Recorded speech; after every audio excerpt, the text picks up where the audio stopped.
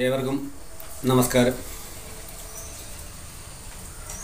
Mass dreams എന്ന ഈ YouTube ചാനലിലേക്ക് സ്വാഗതം. മുത്തശ്ശിമാരുടെയും അമ്മമാരുടെയും വീട്ട് വൈദ്യം. ആയുർവേദ ഒറ്റമൂലികൾ പണ്ടുകാലത്ത് നമ്മുടെ വീടുകളിൽ ഉപയോഗിച്ചിരുന്ന ഇന്ന് അന്യം നിന്നു പൊക്കൊണ്ടിരിക്കുന്ന ചില പൊടിക്കൈകൾ അല്ലെങ്കിൽ ഔഷധ പ്രയോഗങ്ങൾ നിസാര കാര്യങ്ങൾ മാത്രം ഉപയോഗിച്ച് പലവിധ രോഗങ്ങൾക്ക് ശമനം ഉണ്ടാക്കുന്ന ഒറ്റമൂലി ഔഷധ പ്രയോഗത്തെക്കുറിച്ചാണ് ഇന്നത്തെ വീഡിയോയിൽ. അതിലാദ്യം പല്ലുവേദനയ്ക്ക് ചെയ്യാൻ പറ്റുന്ന ഒറ്റമൂലി ഔഷധം എന്താണെന്ന് വെച്ചാൽ വെളുത്തുള്ളി ചതച്ച് വേദനയുള്ള പല്ലുകൊണ്ട് കടിച്ച് പിടിക്കുന്നത് പല്ലുവേദനയ്ക്ക് ആശ്വാസം ലഭിക്കുന്ന ഒരു പരിഹാര മാർഗമാണ് കൂടാതെ തലവേദനയ്ക്ക് ഒരു സ്പൂൺ കടുകും ഒരല്ലി വെളുത്തുള്ളിയും ചേർത്ത് അരച്ച് ഉപ്പുനീരിൽ ചാലിച്ച് പുരട്ടുന്നത് തലവേദനയ്ക്ക് ആശ്വാസം ലഭിക്കുന്നതാണ്. ഒരു സ്പൂൺ കടുകും ഒരല്ലി വെളുത്തുള്ളിയും രണ്ടും കൂടി ചേർത്ത് അരച്ച് ഉപ്പുനീരിൽ ചാലിച്ച് പുരട്ടുന്നത് തലവേദനയ്ക്ക് ആശ്വാസം നൽകും. ഇതുകൂടാതെ ടോൺസിലൈറ്റീസിന് ചെയ്യാൻ പറ്റുന്നത് വെളുത്തുള്ളി കുരുമുളക് തുമ്പയില എന്നിവ ഒന്നിച്ച് തുടർച്ചയായി മൂന്ന് ദിവസം കഴിക്കുന്നത് ടോൺസൈറ്റീസിന് ഉള്ള പരിഹാരമാണ്. വെളുത്തുള്ളി കുരുമുളക് തുമ്പയില എന്നിവ ഒന്നിച്ച് തുടർച്ചയായി മൂന്ന് ദിവസം കഴിക്കുന്നത് ടോൺസൈറ്റീസിന് പ്രയോജനം ചെയ്യുന്ന ഒരു ഒറ്റമൂലി പ്രയോഗമാണ്. തീപ്പൊള്ളലുണ്ടായാൽ ചെറുതൻ തീപ്പൊള്ളിയ ഭാഗത്ത് ചെറുതൻ പുരട്ടുന്നത് തീപ്പൊള്ളലിനും തീപ്പൊള്ളലിനുള്ള പരിഹാര മാർഗമാണ് കൂടാതെ തലനീരിന് തലനീര് തലനീരിറക്കം എന്നിവയ്ക്കുള്ള പരിഹാരമായി.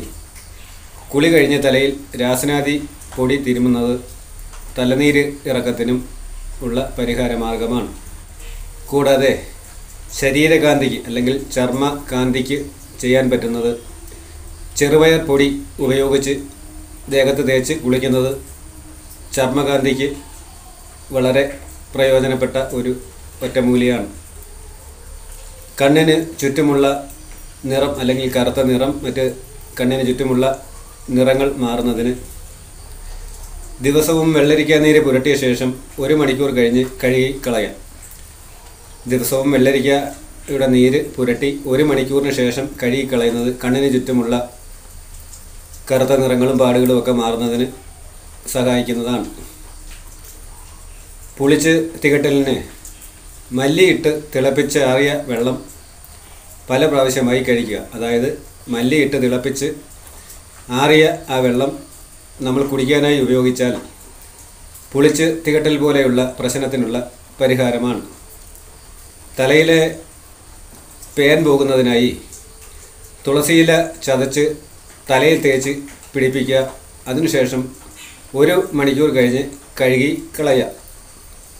തുളസിയില ചതച്ച് തലയിൽ തേച്ച് പിടിപ്പിച്ചതിന് ശേഷം ഒരു മണിക്കൂർ കഴിഞ്ഞ് കഴുകി കളയുന്നത് തലയിലെ പേൻ പോകുന്നതിനുള്ള ഒരു പരിഹാര മാർഗമാണ്.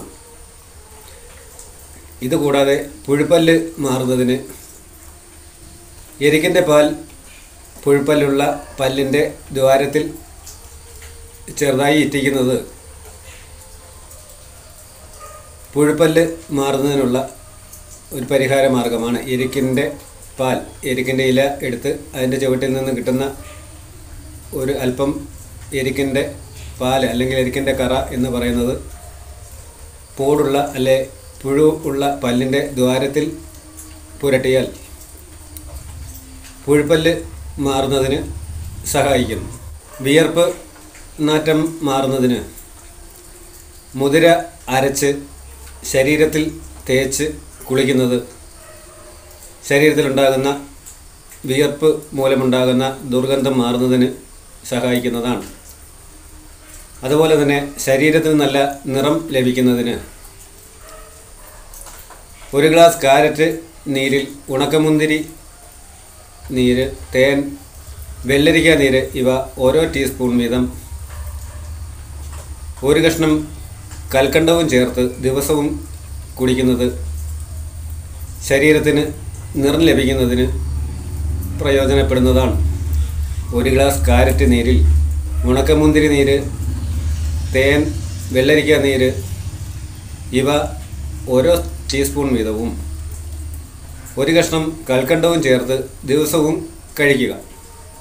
ഇത് ശരീരത്തിന് നിറം ലഭിക്കുന്നതിനുള്ള ഒരു പരിഹാര മാർഗമാണ് കൂടാതെ മറ്റ് രോഗ പ്രതിരോധ ശേഷിയും ഈ പ്രയോഗത്തിൽ കൂടി നമ്മുടെ ശരീരത്തിന് ലഭിക്കുകയും ചെയ്യും.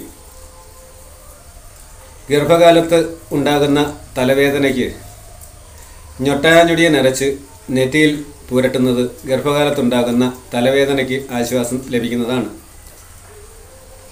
ഉള്ളി ചതച്ചതും തേങ്ങയും ചേർത്ത് കഞ്ഞി വെച്ച് കുടിക്കുന്നത് മുലപ്പാൽ വർദ്ധിക്കുന്നതിനുള്ള ഒരു പരിഹാര മാർഗമാണ്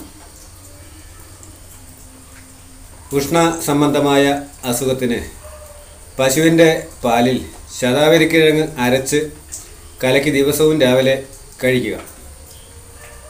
പശുവിന്റെ പാലിൽ ശതാവരി കിഴങ്ങ് അരച്ച് കലക്കി ദിവസവും രാവിലെ കഴിക്കുന്നത് ഉഷ്ണസംബന്ധമായ പ്രശ്നത്തിനുള്ള പരിഹാര മാർഗമാണ്. ഇത്രയും ഒറ്റമൂലികൾ നമ്മുടെ വീട്ടിൽ തന്നെ ചെയ്യാൻ പറ്റുന്ന കാര്യങ്ങളാണ്. ഇത് നിങ്ങൾക്കോ നിങ്ങളുമായി ബന്ധപ്പെട്ടിട്ടുള്ള ആർക്കെങ്കിലുമോ ഒരുപക്ഷെ എപ്പോഴെങ്കിലും ഉപകാരപ്പെട്ടു എന്ന് വരാം. ഈ ചാനൽ നിങ്ങൾ സബ്സ്ക്രൈബ് ചെയ്ത് ലൈക്കും ഷെയറും ചെയ്ത് മറ്റുള്ളവരിലേക്ക് കൂടി എത്തിച്ച് അവർക്ക് കൂടി ഈ ചെറിയ അറിവ് പകർന്ന് കൊടുക്കണം എന്ന് പറഞ്ഞുകൊണ്ട് ഇന്നത്തേക്ക് നിർത്തുന്നു. നന്ദി നമസ്കാരം.